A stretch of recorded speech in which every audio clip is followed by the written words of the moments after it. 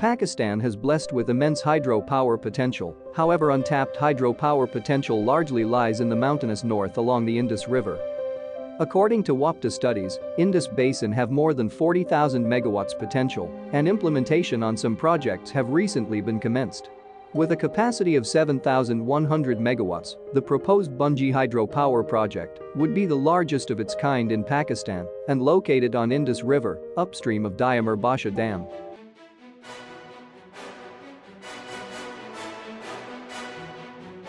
The project site is located on the Indus River about 83 km from Gilgit and 610 km from Islamabad.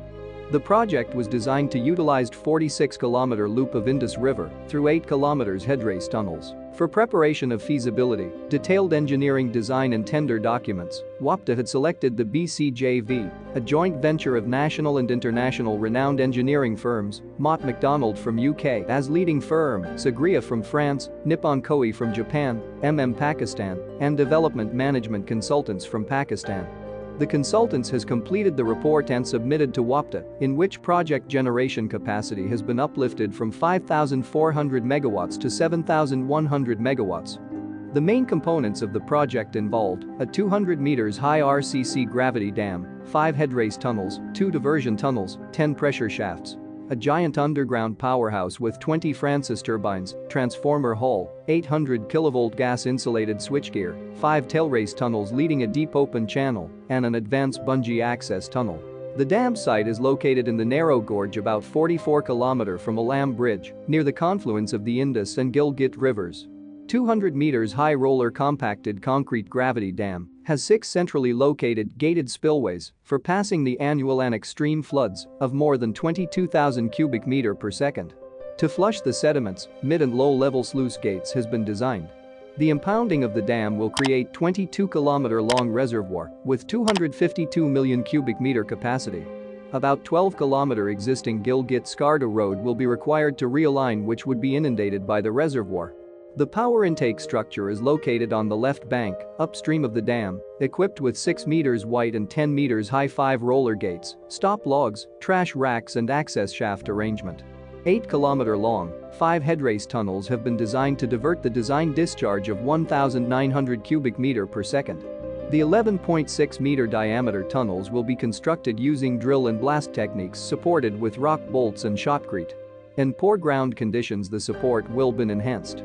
The tunnel diameter will reduce to 9 meter in the fault zone. It is anticipated that difficult tunneling conditions will be encountered in the fault zone due to high in situ stresses. The underground powerhouse complex is located approximately 80 meters downstream of the dam, in the rock mass downstream of the confluence of the Indus and Gilgit rivers. The powerhouse complex is approximately 400 meter below the surface on the left side of the river. The powerhouse complex is made up of three caverns, the machine hall, transformer cavern and the draft tube gate access gallery. The finished machine hall cavern is 560 meters long, 28 meters wide and 51 meters high, and contains 20 Francis turbines, generators and ancillary equipment, as well as two control and services buildings. Flow from each headrace tunnel supplies four turbines. The transformer cavern is located 32 meter downstream of and parallel to the powerhouse, with the floor of the gallery at the same level as the assembly bay. The cavern is 560 meter long and 18 meter wide. The cavern will house the 60 single-phase transformers that will be in use, as well as four spare transformers. Power is then transmitted via high-voltage gas-insulated lines to two surface line terminal yards. After feeding the turbines, the water will discharge into the Indus River through five tailrace tunnels, leading to an open channel. The twin diversion tunnels, each having more than 1 kilometer length on the right bank, has been designed with upstream and downstream coffer dam arrangement. The tunnels are 10 meters wide and 10 meters high, with diversion capacity of 7,000 cubic meter of water per second. In order to accelerate the headrace tunnel's progress, an advanced traffic tunnel namely Bunji Access Tunnel is designed parallel to five headrace tunnels. The 8-kilometer-long tunnel will provide access to multiple work faces for headrace tunnel construction via five working adits and detail knowledge of ground conditions in advance. After construction of the project, the tunnel would be transformed for use of public transportation in addition to the operation and maintenance purposes for the project. During detailed investigation stage, more than 10,000 of boreholes had been drilled up to 450 meters deep, including in Overburden and an Indus River, by the experienced drilling wing of WAPDA. Six exploratory adits at dam axis and powerhouse area was constructed to determine the ground conditions. Numerous in situ and lab tests were conducted. A comprehensive physical model of the project and various detailed partial models had been constructed on 1 ratio 80 geometrical scale by the WAPDA Model Studies Cell at Hydraulic Research Station, Nandipur. These models were tested on different scenarios to confirm the final design. The detailed geological information is inevitable for designing such mega projects. To acquire geological information in the difficult terrain and inaccessible vertical slopes of dam site, the relevant designers sit together with field geologist and came with the idea that local geologist will perform the climbing scan line discontinuity survey. The experienced team of Pakistani geologists performed a challenging assignment and became pioneer in the field of geotechnical engineering by performing a unique job climbing scan line discontinuity survey in hanging ropes at inaccessible vertical slopes of dam site. The geologist while accepting the challenge of the task, suggested to engage local expert climbers from northern areas to train the participants.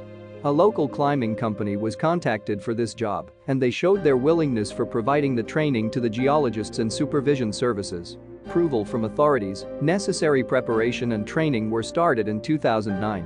The assignment had been completed successfully ahead of the schedule the project completion period is 9 years after the date of commencement and will provide 24,760 gigawatts-hour cheap energy annually.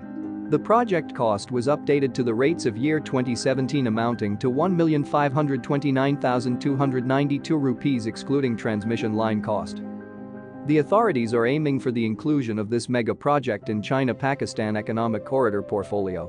In last quarter of 2019, the government of Pakistan had offered China for the inclusion of mega projects including Bunji hydropower project which would be followed by other projects on the Indus Cascade.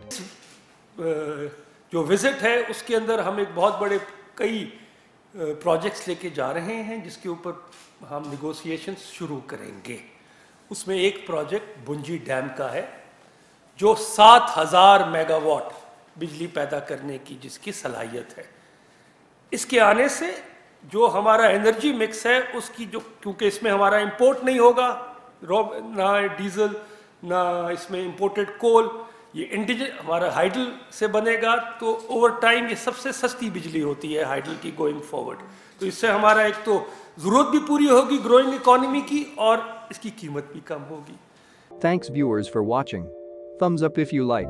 Write us your suggestions in the comments section. Don't forget to subscribe our channel for more exciting videos.